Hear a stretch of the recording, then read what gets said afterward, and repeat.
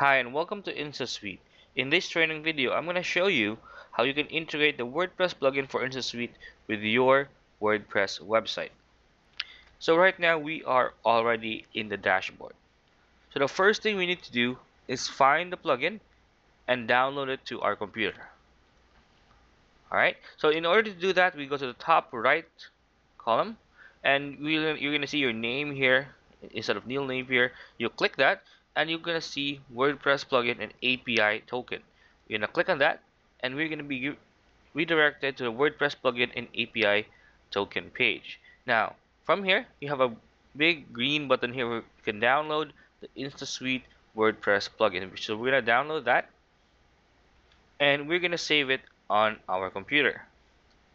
Once the download is complete, we simply go to our WordPress website's dashboard we go to the plugin section as you can see from here. And from the plugin section we click on add new. And we click on upload plugin. And then from here click on choose file. And click on the file that you have here. It's gonna be named as instasuite for wordpress.zip click on that. Click on open. Click on install now. And click on activate plugin so right now our plugin has been activated. You you'll be able to see it on the left menu here. And from here we just simply copy and paste the API token. That is this is where you can get this as well. On this page, just copy and paste this entire code here and click on save token. Now once you click on save token, it will be saved.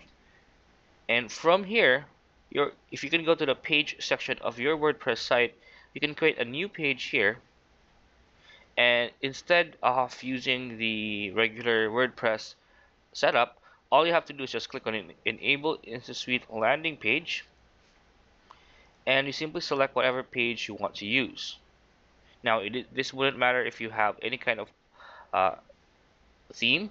It will be replaced with the layout for InstaSuite. So let's say for example I'm going to use SceneRanker here for example.